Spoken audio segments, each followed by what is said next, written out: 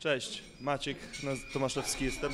E, przyjechałem z Warszawy, ponieważ tutaj e, odbywa się w tym momencie kurs e, na instruktora kulturystyki.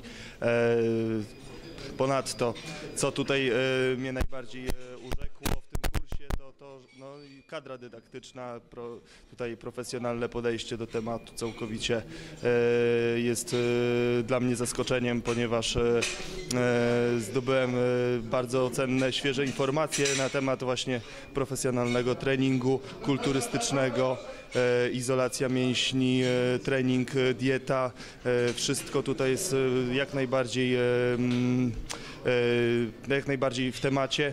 E, Ta wiedza na pewno będzie w przyszłości mi pomocna w, w zawodzie, jaki, jaki chcę właśnie wykonywać e, pracując prawda, na siłowni. Więc e, co tutaj mogę dodać od siebie?